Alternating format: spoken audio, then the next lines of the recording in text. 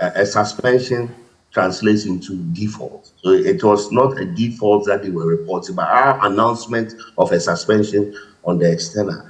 And a few touched on it earlier that we are, we are not even considering the external. The external is also dangerous because what's happening now is that there are contractors who have raised IPCs and then the banks are not paying. You know, when we, there are project loans for the Obecha interchange, uh, La Polyclinic, the clinic, the nephrology center, all of these, the money sits with the banks in Germany or England or wherever. And so when you raise IPCs and the supervising ministry certifies then finance authorizes, then they will release money.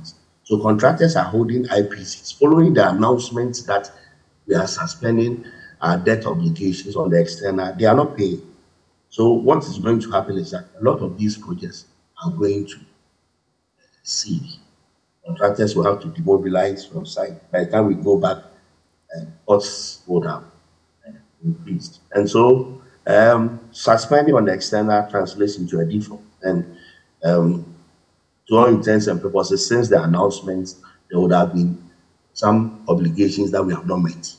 But on the external side, it's manageable. Okay, the external side is manageable because those who purchase our bonds they, they, they hold big, big portfolios. And they insure some of them against some of these uh, uh, hazards. And so, if you look at Goldman Sachs and Franklin Templeton and the rest, some of them hold billions of dollars in portfolios. So these ones uh, we can manage, and it is in their interest for us to suspend and get things on track and come back and come and uh, service the debt. So for them, we can manage them, but not you and I, our local field that we have the domestic side. That one uh, is going to be problematic.